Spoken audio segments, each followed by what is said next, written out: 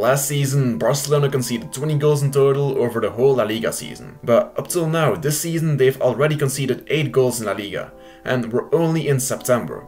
You can do the math. It's clear that there's a difference in their defensive solidity. So what has actually happened?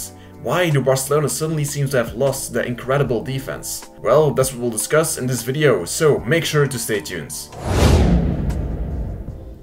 First problem that we need to talk about is Barcelona's attack, because your first line of defense are of course your attacking players. When Xavi first arrived at Barcelona, one of the most blatant changes we saw in their way of playing was their aggressive way of putting pressure after having lost the ball. It was clearly one of Xavi's main ideas about football. If you lose the ball, you make sure you win it back as quickly as possible. Now, this season, if you compare Barcelona to the team of one year ago, or even that in 21-2022 season, Barcelona actually seem less aggressive and cutthroat in the way they go about pressing the opposition defenders. Last season, Barcelona often created a swarm of players around the opposition player in possession, a role that the wingers and the midfielders, Pedri and Dembele for example, executed very well, and that often made Barcelona regain possession.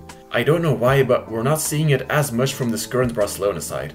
In some games, like against Mallorca, it's really just because the opponent is aware of the danger of Barcelona's high press and play a long ball. One thing that could be to blame for Barcelona seeming less willing to win that ball back is that there are a lot of new players, and to put pressure you need great chemistry, which of course needs some time to develop. I don't think that Xavi has told players to specifically not put too much pressure anymore, I just think that he needs to reinstall this element of Barcelona's football into the mind of the team and put some emphasis on it again.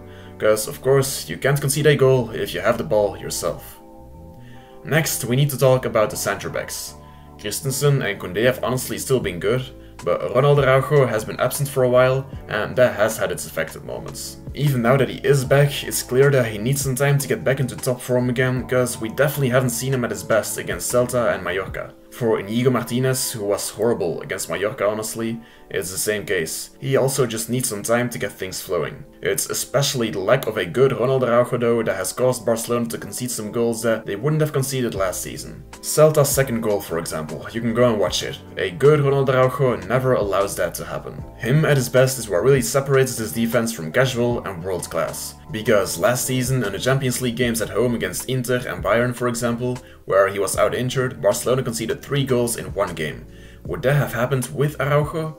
Probably not, right? Ronald Araujo at his best is what this Barcelona team needs right now to get back to their very best. And I'm sure that it'll only take a couple of games to get him back to that level again. Next thing we need to talk about is Joao Cancelo actually.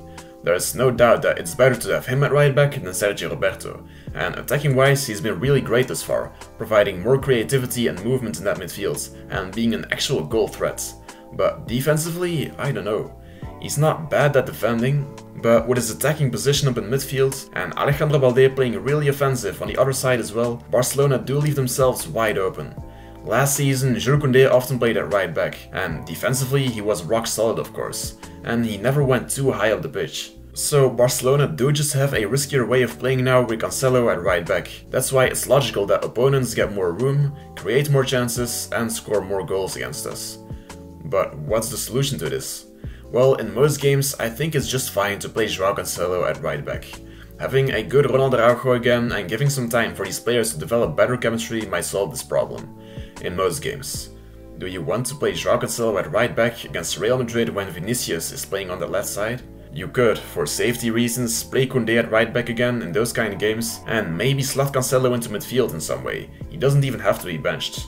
Barcelona, compared to last season, just have a riskier way of playing now because of Joao Cancelo, and it's one of the reasons why they've conceded more goals. But attacking wise, he does offer enough for the reward to be worth the risk.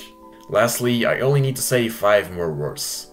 Sergi, Roberto and Marcos Alonso. One year ago, Barcelona still had Jordi Alba, who could replace Balde when he needed some rest, and though he wasn't at his best anymore, he was still a good left back.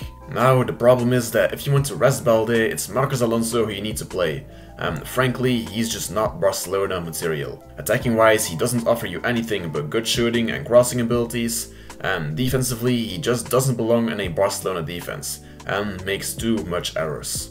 He's never been good enough honestly, but it's because Jordi Alba is gone that it's so blatantly clear right now. Barcelona should really have bought another left back this summer. For now, the best option is probably to use Joao Cancelo as a backup left back, and to let Marcos Alonso come in as a substitute sometimes, but please just never let him start any games.